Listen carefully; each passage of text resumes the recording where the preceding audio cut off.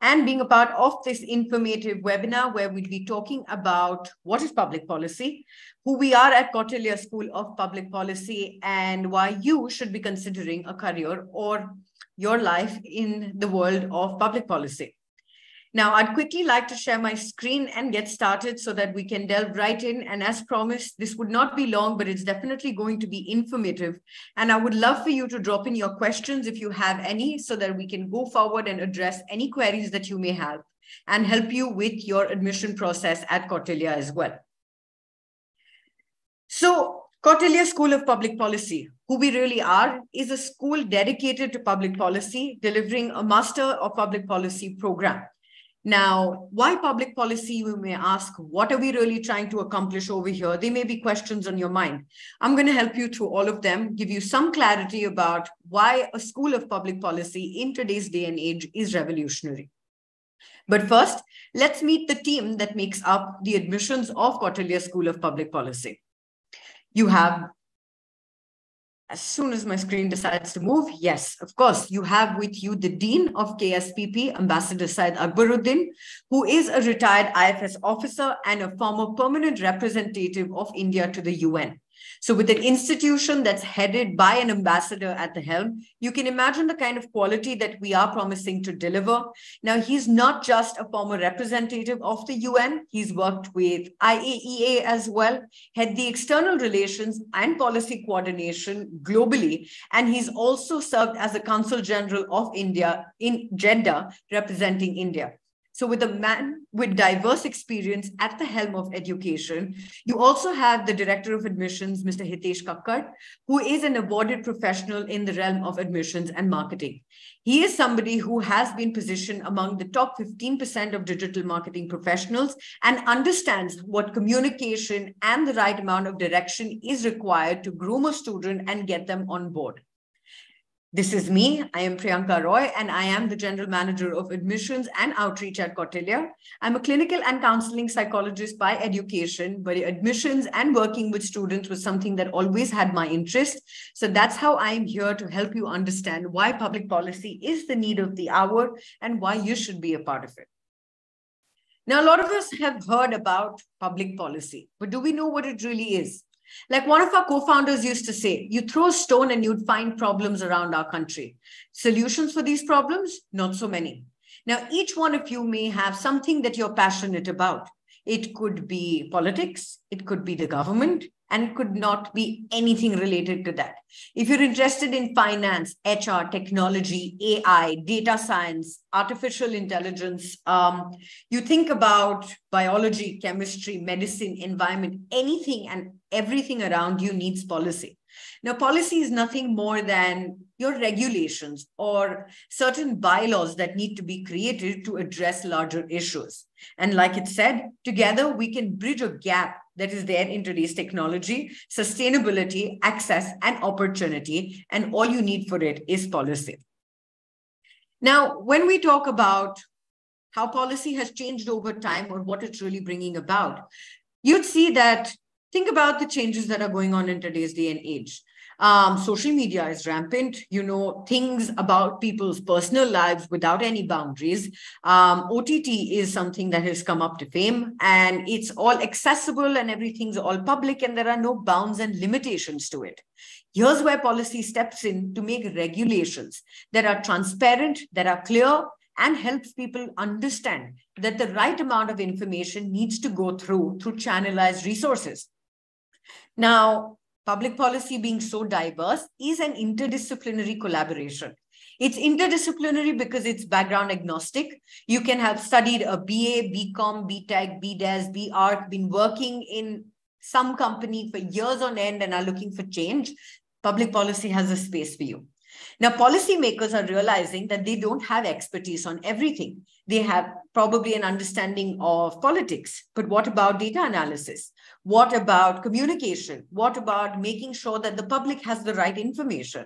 Now, all of these things are lost in the crowd. And that is why we need policymakers such as yourself to come across and create environments that are no longer dominated by just governments and diplomats.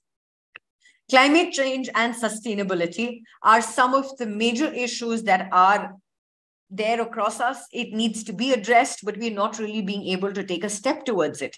Why? Because we don't have effective policies in place.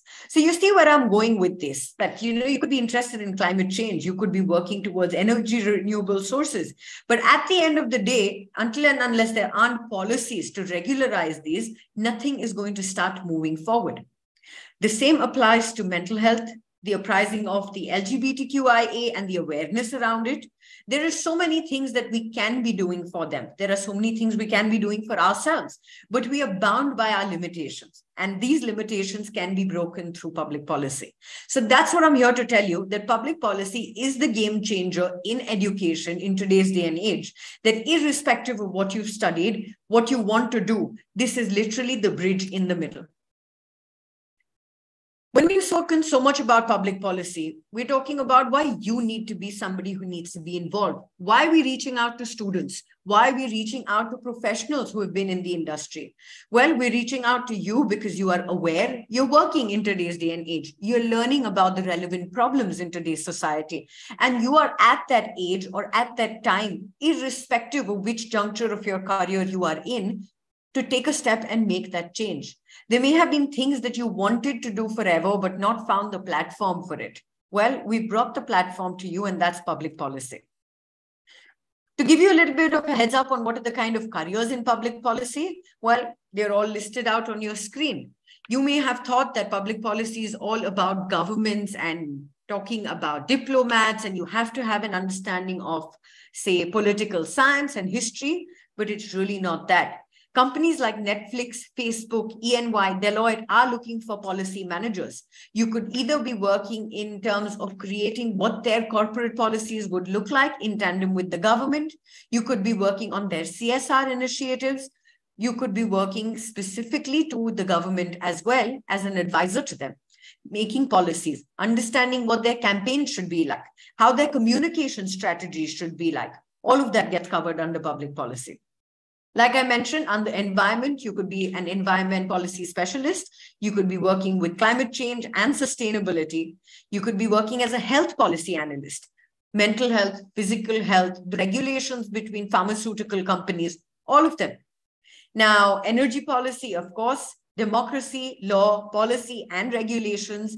If you are not looking at UPSC as your ultimate go-to or you've done too many attempts and would like for an alternate path into being a diplomat or work for international relations, public policy is your stepping stone.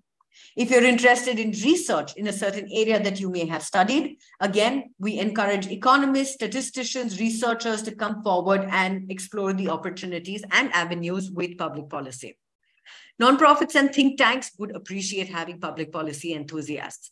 Organizations such as uh, Teach for India or Helpline India would love to have people who understand policy and can finally give them that space and that identity that they need. So why Kautilya? Right? So as much as I can brag about the institution that I work for, the basic idea that we came with was that why should we lose our students, the brains of our country? Why should we lose them to international universities? We saw, we learned, and we took the best of what they had already established and brought it right here for you here in Hyderabad. You talk about Stanford, you talk about Harvard Kennedy, our entire curriculum is designed on their model. We bring in faculty from these institutions as well, including diplomats, politicians, policymakers, and you get an opportunity for a year-long mentorship with them as well. I have listed down infrastructure and the classrooms, but I'm not going to talk too much about it because I'd love to show you about it, but definitely would like to delve into a little bit more about our interdisciplinary learning research and development oriented curriculum, which is not your standard textbook Q&A that you learn and do. Uh, what we're doing here is basically making sure that you're learning through case studies, you're learning through assignments, you're going through and stepping into real world understanding of how policy is really happening in today's day and age. You're learning from senior advocates, from journalists, um, some of the main management is experienced professionals in this realm. And you're not just getting a textbook version of what you need to know, you're getting a real life version of it. You also get uh, teaching assistantship opportunities while you're on the campus. Now, as a student at Kautilya, you get to work very closely with these faculty that comes in. You get to work one-on-one with them, understanding their curriculum, understanding their network, and then taking that skill forward for your journey in your life. Well, enough said. Now it's time to show you a little bit of what Kautilya and our campus look like.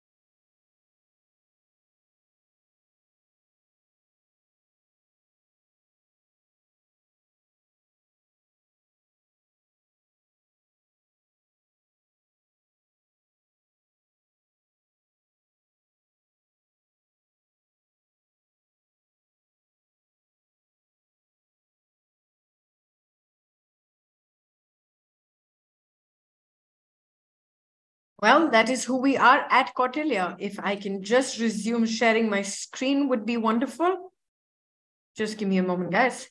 And yes, of course, it's time that I show you a little bit more about my advisory board. So when I talk about my faculty, when I talk about the people that you would be meeting, these are some of the best of the best in the industry. You have managing directors who work with research and policy hands-on. You have professors from Harvard Kennedy and um, Stanford as well. You have political campaign advisors, members of parliament, retired IAS officers, and senior advocates, and anybody and anybody that you could think of, making sure that the curriculum is designed up to standards for your requirements. Now, all of your faculty as well looks like this. We, I would encourage you to go ahead and check out what our faculty page looks like on our website. But I'd also like to tell you a little bit about the programs that we offer here at Kautilya. Of course, we have the master's program in public policy, which is a two-year fully residential program, and the applications for it are open now. We'll be talking about it in a little bit after I've told you a little bit more about the executive education and PhD program. Well, these are the two new programs that we are launching this year.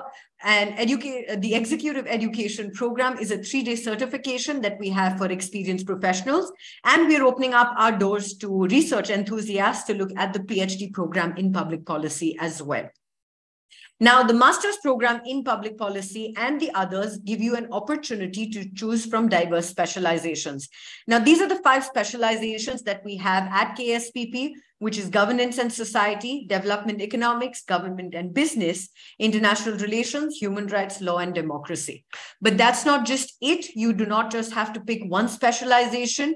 You can choose to have cross-listed specializations or just do a general MPP so that you have a little bit of understanding of everything and then choose your career path ahead depending on your area of interest. Um, a little bit about the master's program. We have a collection of mandat mandatory and elective programs that you need to choose from. At the end of the year, you do an internship. So at the end of year one, you're doing a mandatory internship so that you get a real life exposure of what public policy can bring to your table. In the second year, it's a mix of the electives that you choose and you get to make your career or your curriculum custom designed to the way that you would like to be learning. At the end of the second year, you work on a capstone project, which is basically a research project that you work on end to end. And you never know if your project is that great and a policy so relevant, you may be the one making rules and regulations for us in tandem with the government. Well, Our applications are now open, like I mentioned, and our application process is supremely simple. You have to fill up an application form along with your education documents, your work experience documents in case you have work experience. Mention to us any achievements that you may have. And well, if you are looking for a scholarship, and a little bit more on that in the next slide, well, if you are looking for a scholarship, you'd have to submit your income tax return documents as proof as well. Once you filled up your application, we ask for a 500 word SOP as well. And for all of those who are interested in applying, you'll find an eligibility document and an SOP guidelines document right there for you to help you a little bit in crafting a well-rounded SOP. Now, your SOP is one of the major evaluators of your candidature at Kautilya. So make sure you write that well and if you do write that well, you get selected for a personal interview round with a three member panel. Now, these panelists are usually members of our advisory board, management, and the faculty so that they can handpick you out of a crowd and give you a space in the limited seats that we have at Kautilya. If you do get selected, we give you a provisional offer letter for which you need to deposit 1 lakh to confirm your seat. And well, if you do that within 14 days of receiving your offer letter, your scholarship stays valid for you. I've listed out certain important dates. They're on my screen right now, but you can also find them listed out on the website. Our website is www.kautilya.org.in. I will drop that in the chat box shortly as well. And in case you have questions, keep dropping them for me so that I can address them after this. Now, well, that's a lot of information about Kautilya and what to do. Let's come down to the basics and, of course, what's most important to you. The tuition fee, like you can see, is 6.68 lakhs per annum, which comes up to about 13.36 lakhs for two years. This is without the food and accommodation that would charge you roughly about three and a half lakhs more.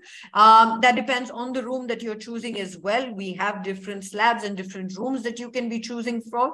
And well you did see the kind of executive rooms that we are giving our students so that they can find a home away from home. I've been mentioning scholarships for a while, and what you can see on my screen are the various scholarship slabs that we have. Depending on your academic and your income performance, depending on what you're looking for, we offer scholarships between 33% to 100% on your tuition fee. Trust me on this, we did have more than eight students get complete tuition fee waivers and an active part of Kautilya fulfilling their dreams. So you could be one of them as well. And it's pretty simple to get there. It's also pretty simple to make your mark once you are a part of Kautilya. What you can see on my screen are the list of partners who have reached out and hired students from us. In our first year, we had the highest package of 41 lakhs with an average package of 8 lakhs for students. And you have companies across the board, whether you're interested in biotechnology, whether you're interested in electric vehicles, you're interested in finance, or are looking to work with the government, there are opportunities for each and every one of you right here. Well, this is all about what I have to tell you, and I'm open to any questions that you may have about public policy and what you'd like to know about Kautilya School of Public Policy. Again, thank you so much for your patience and your understanding because it's been great to just be able to talk to you and share everything that I have about public policy. Um, I'll take a minute and quickly jump into the questions. If you have any questions, please feel free to share them with me.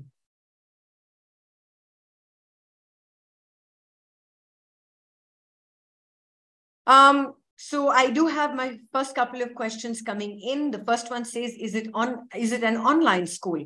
Um, well, Vishnu, it is not an online school. We are a fully residential program. So if you are choosing the two-year Master in Public Policy program, you would be living with us on campus and experiencing the full glory of the projects, assignments, and the campus life with the students. If you are choosing the executive education, it's a three-day certification, but that too, we are inviting people to come onto campus and understand a lot more about what life really looks like and the kind of effort that goes into being a public policy enthusiast.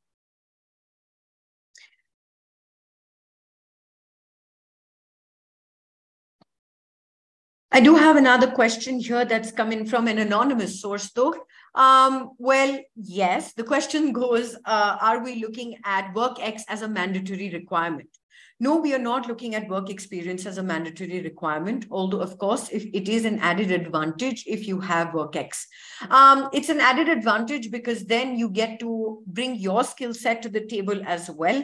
And through our mentorship program, then you can associate with people who are already working in the field um, explore their network, their skills, their abilities, go forward and learn a lot more about what it really takes on the ground to go ahead and uh, explore your career with public policy.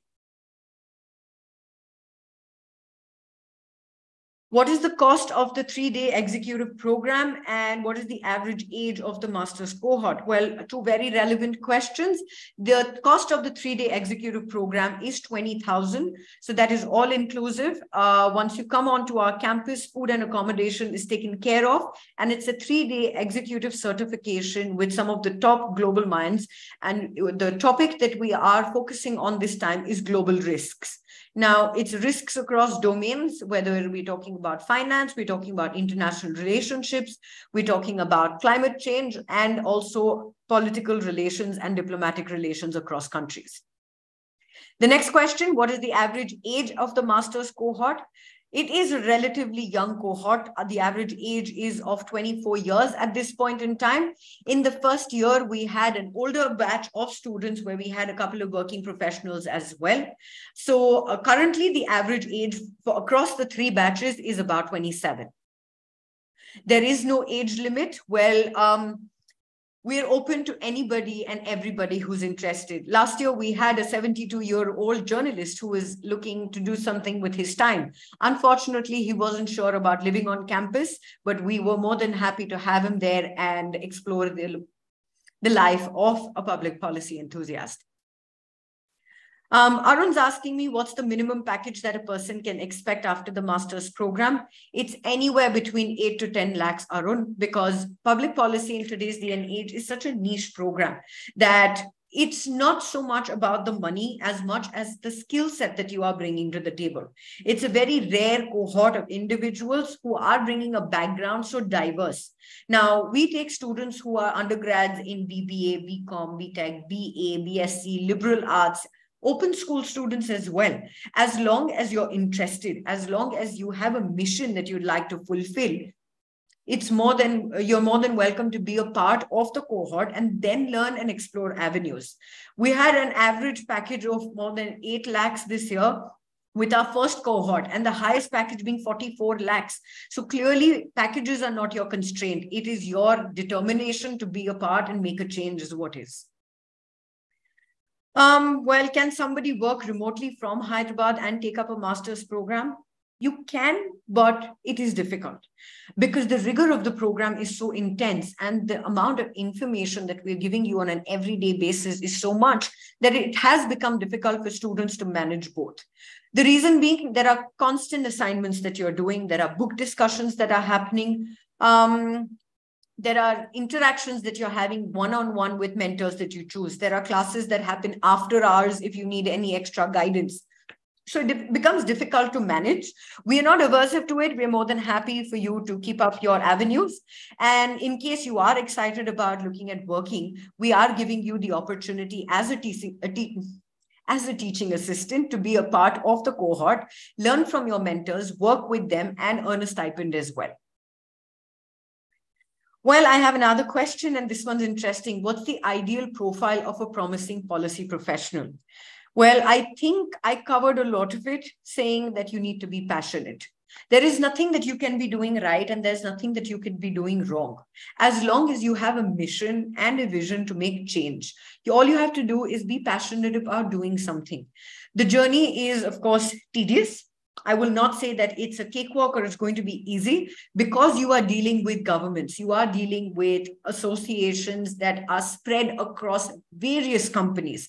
You're talking about making policies that are to be uniform, equal, and relevant, most importantly, across domains. So it's not really about what you could be doing you could be somebody who's worked 30 years as a journalist. You could have been a teacher for 15 years. You could have been a civil servant for a long time and looking to upskill yourself. You could be a fresher looking for a new career avenue, or you could be somebody just trying out something new. as long as you're passionate about it, you're the right person to be a policy professional. Vishnu has another question that says, what is the ratio between internal and external assessment? Well, uh, of course, for the capstone project and when you are interning, there are external assessments that happen by people who are on the ground. Uh, most of the assessment otherwise is internal and it is evaluated by the faculty that we have on campus. Again, I would encourage you to go forward and take a look at their profiles what I will also do is drop a link for you on the various arenas of the admission process and the faculty and the MPP program in general so that you can get to know more about us. But again, coming back, lot of information and not the answer. There is uh, it's going to be a 60-40 ratio of the internal and external assessment. Most of it is internal. Your external evaluation happens through people coming in for campus placements, people coming in for training, people that you would be working with as a part of your internship, and of course, your capstone project as well. If we have any other questions, I'll keep this open for another 10 minutes. Uh, if not, we will wrap this up very soon. And again, thank you so much for your participation here today. It's been wonderful to have each and every one of you and ask these questions. Uh, okay, a lot of questions coming in about the PhD program. Yes, we are introducing the PhD program this year. We are looking at a very small cohort. So uh, as soon as the applications open, we will put out a notification out there. Um, your PhD program would, of course, have to be after you've completed your master's exam. We would have an entrance exam for it, followed by the interview round, which would qualify you to be a PhD uh, scholar here at Kautilya. We do offer the PhD and um, it would be your standard three years PhD, which can be extendable. You would have a stipend as well. All of those details would be on our website very shortly. Of course, you can go check out the specializations. We've listed those out and the other details about the PhD process. So you can go find out, but as soon as applications are open, we'll be letting you know. Um, is it any end term kind of thing? Uh, well, we work on a tri-semester format. So in the two years, you'll be going through six semesters, where the last semester of each year would be mostly just on-field work. So it's a mix of practical learning and applied learning. So you are going out there and whatever you learn, putting it out there in the real world, experiencing it hands-on, and then taking up your chances as and when they get it. May I know about what all assistance is offered to Kautilya for freshers? Well, we have a corporate and placement cell, the CPC at our campus. Now, the career fulfillment cell also helps you with training. So right now, with our second years currently gearing up for their placement season, we have mentors coming onto the campus and helping them with mock interviews and the kind of job roles that they can be choosing from. For that matter, we also have a mental health professional that comes onto our campus and helps students understand where their passion stems from, what they really want to do, any assistance that they may need in preparing. Um, a lot of students get anxious before placements. A lot of them get extremely worried. So, well, uh, what we are doing is trying to cover all the grounds in terms of mental health help, in terms of professional help, in terms of companies coming in and training you as well, so that end to end, all assistance is offered for the freshers and for the graduating students as well. Vishakha is asking me the applications can be made in any of the admission cycles. Yes, they can be made in any of the admission cycles, but the only catch is that our scholarships are on a sliding scale. Uh, also, not, we won't be open for all our round deadlines if we fill up our seats, and there are only 60 seats. So the sooner you apply, the better it is. And of course, also can an individual apply more than once in different cycles of the admission? No, unfortunately, you would not be able to do that. You can only apply once in an academic year. Of course, in case that you are not selected or for any unforeseen circumstances, you're not able to join Kautilya, we do offer a deferral or we do offer you the opportunity to join in next year by going through the application process again. I hope that answers your question, Vishakha. In case you need any more information, please feel free to reach out. um, there's another question that says, in a corporate, typically, where does a public policy professional fit in? Um, it would really depend if you are interested in finance, you could fit into accounts and be uh, creating policies for the organization. You could be creating financial policies uh, within corporations or multiple companies that may, uh, that may be there. If you're interested, say, in something like electric vehicles, we had one of our students placed recently at Ather, and she was always passionate about EVs. Today, she is drafting policies that would be mandated between electric vehicle companies and the government as well. You could be regulating CSR activities as a part of being a policy professional.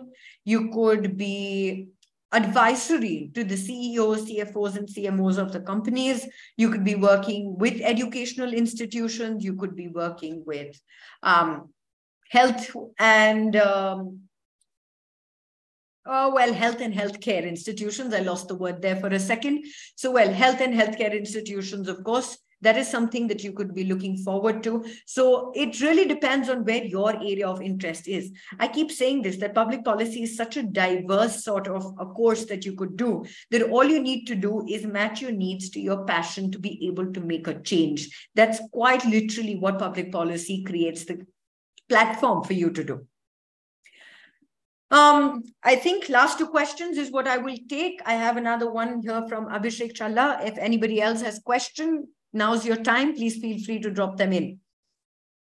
So Abhishek says, hello, ma'am. Is there anyone who got 100% scholarship? And if the person wants to join Kautilya and he can't afford, uh, is there any chances to study at Kautilya? Yes, yes, and yes. We've had more than eight to 10 students across our batches get 100% scholarship.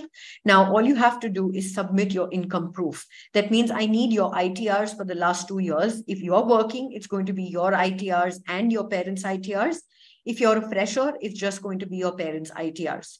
So we do consider a 50-50 ratio of merit and means to understand how you are eligible for a scholarship. And we do make exceptions as well. We have two dean scholarships as well that we would like to offer to our candidates. Uh, if you're exceptionally meritorious and have financial difficulties, that shouldn't be a hindrance at making change, should it? So we definitely don't let that be a hindrance. We try to accommodate as much of um, passionate enthusiasts as possible to give them the opportunity. And Abhishek, if you are interested, our applications are open. I think you really need to get started on your application. Um, well, Vishnu, I'm not going to divulge what are the income slabs for a 100% scholarship, but definitely let me tell you, it's a very fair process. We go through multiple checks. We go through multiple uh, processes of evaluation so that nobody misses out. See, it's really not just about your academic scores. It's also about your SOP. It's also about your written communication. It's about your verbal communication. It's about you taking that step forward and saying that I really want to do this. And honestly, if you can convince us to say that you're good at it and you want to do it, we will make sure that you find a place. Rishikesh is asking me, do you have tie-ups with banks for loans? Yes, of course, we do. We have uh, private banks and government sector banks that are tied up with us. As a part of GITAM deemed to be university, Kautilya gets the full range of access that GITAM does. So we are listed everywhere on government portals as well. So in case you're looking for a scholarship through, say, the Bihar Credit Scheme Fund, or you're looking at the one that uh, Kolkata offers, we are tied up with them as well. So finances are never going to be your hindrance to join Kautilya, let me tell you that. Well, the bottom line is that our applications are open and you need to quickly go on to kautilya.org.in to start filling up your application. The application costs 1,000 rupees, not too much. And it really is something that you should start doing right now if you want a fair chance at 100% scholarship. I've told you about our placements. I've told you about our faculty. You've taken a look at what our infrastructure is. If you're here in Hyderabad, give us a call. Our numbers are listed on the website, and we'd be more than happy to take you around the campus as well. If you're not in Hyderabad and are still looking to take a look at our campus, we have a virtual tour that is listed up on our website. Please feel free to go through, look at our classrooms, look at what happens, see what we are trying to offer for you, and just make a choice. Thank you so much, everybody, for joining me today. It has been a pleasure speaking to all of you. Um, It's been absolutely a delight with the number of questions. It just shows that you all are interested and you're enthusiastic. And I'm looking forward to speaking a lot more with all of you. Thank you so much for your time. Take care, everybody, and have a very, very good evening.